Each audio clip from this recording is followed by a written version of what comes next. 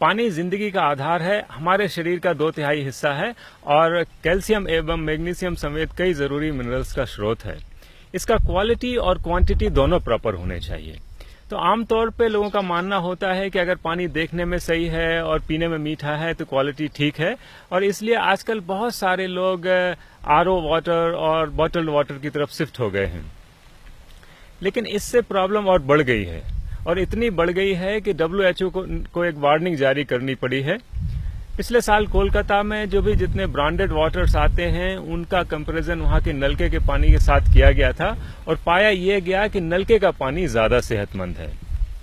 RO और bottled water में तीन बड़ी प्रॉब्लम्स होती हैं। पहली प्रॉब्लम टीडीएस की दूसरी मिनरल्स की और तीसरी प्रॉब्लम्स प्लास्टिक्स की।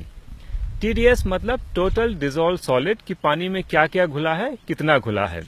अगर पानी का टीडीएस कम हो तो पानी हाइपोटोनिक होता है। अगर टीडीएस ज़्यादा हो तो हाइपरटोनिक पीने के पानी को न तो बहुत ज़्यादा हाइपरटोनिक होना चाहिए, ना बहुत ज़्यादा हाइपोटोनिक और सबसे बढ़िया टोनिसिटी मिलती है 350 टीडीएस पे। वैसे 250 से 500 की पूरी रेंज ही बढ़िया है और हज़ार टीडीएस तक का पानी पिया जा सकता है। पानी का टीडीएस 100 से कम नहीं होना चाहिए, क्योंकि 100 से कम के टीडीएस का पानी बहुत ज़्यादा हाइपोटोनिक होता है और इतना हाइपोटोनिक वाटर जो बॉडी का एक बैलेंस होता है, जिसको होम्योस्टेसिस कहते हैं, उसको गड़बड़ कर देता है। और होम्योस्टेसिस गड़बड़ होने से कई बीमारियाँ हो जाती हैं कार्डियोवेस्कुलर डिजीजेस से लेके हेयर फॉल तक, लंबी लिस्ट है। और डब्ल्यू एच ओ को वार्निंग इसलिए जारी करनी पड़ी कि आर ओ और बॉटल्ड वाटर पीने वाले 99 परसेंट लोग 100 से नीचे का टीडीएस का पानी पी रहे हैं। और ये सब हो रहा है स्वाद के चक्कर में, क्योंकि 75 से पैंसठ के बीच में पानी का स्वाद सबसे मीठा होता है। और जहाँ तक मिनरल्स का मामला है तो जब आरओ मेम्ब्रेन से पानी फ़िल्टर होता है तो बहुत सारे मिनरल्स निकल जाते हैं, दूसरी तरफ़ ही रह जाते हैं मतलब पानी के 90 परसेंट मिनरल्स कम हो जाते हैं। और यही हाल बॉटल्ड वाटर का है। अब मज़े की बात यह है कि बॉटल्ड वाटर को आमतौर पर मिनरल वाटर कहा जाता है, जबकि स्थिति एकदम उल्टी है। उसमें मिनरल्स बहुत कम है, वो डीमिनरल्ड है।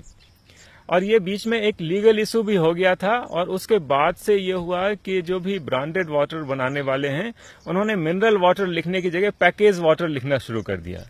लेकिन आम जनता को अभी भी यही लगता है कि बॉटल वाटर मिनरल वाटर है।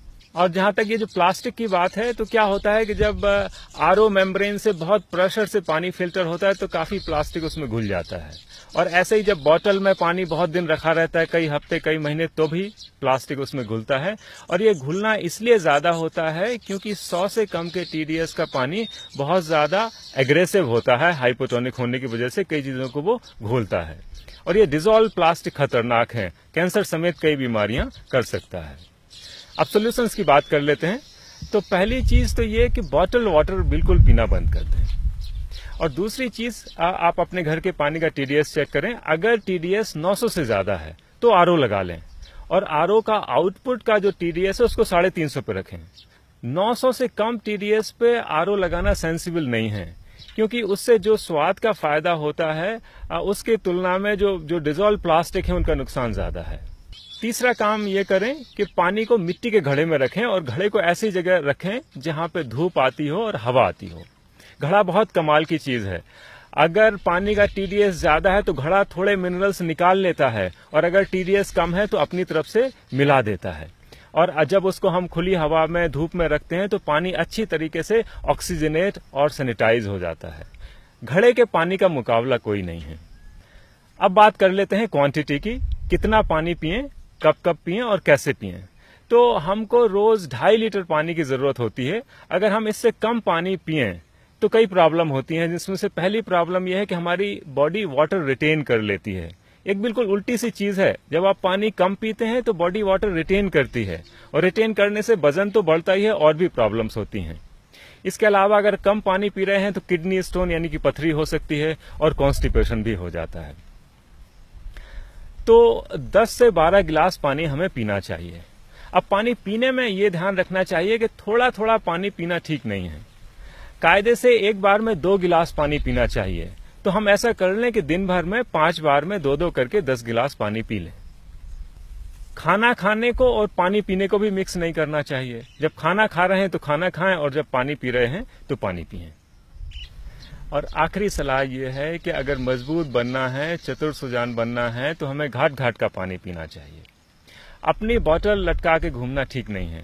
सोचिए, जब हमारी साँसें साझा हवा में हो सकती तो हमारा पानी साझा क्यों नहीं हो सकता है? अगर कहीं का पानी खराब भी हुआ तो क्या होगा? ज़्यादा से ज़्यादा डायरिया होगा। जो बॉटल्ड वाटर के कैंसर जितना खतरनाक तो नहीं है